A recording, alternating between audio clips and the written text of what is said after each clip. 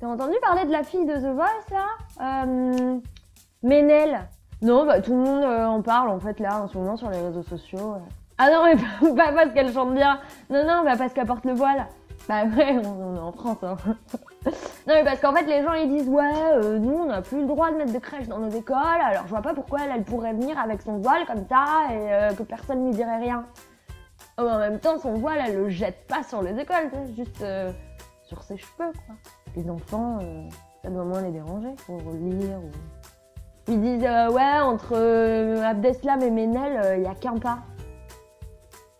Il y a plus qu'un pas là quand même. hein. T'as carrément un GR20. Hein. Franchement, si eux ils voulaient venir avec une crèche sur la tête, ça te poserait un problème toi Ouais, moi non plus. Hein.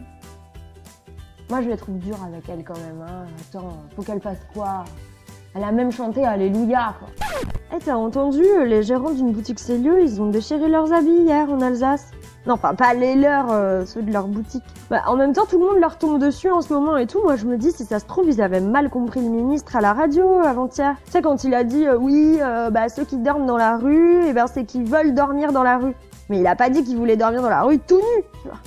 Bah non, un minimum, quoi. Non, ils sont expliqués quand même, tu vois, ils ont dit... euh, Non, euh, nous on a déchiré nos fringues, mais c'est parce qu'elles sont immétables.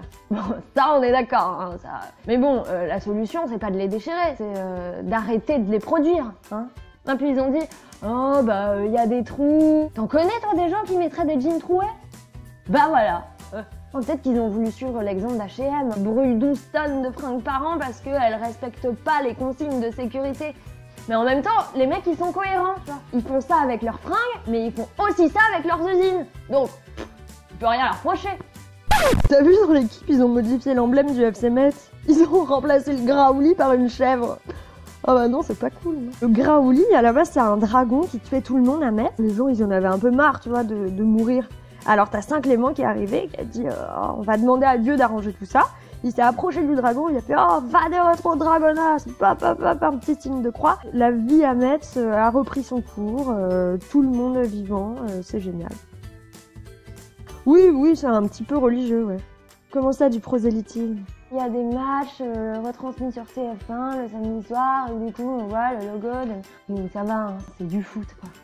Non, bah non, non, bah non, parce que le chant c'est pas pareil. Bon, écoute, euh, qu'elle fait Ménel, c'est pas très catholique, ok? Ah Peut-être pour ça, tiens.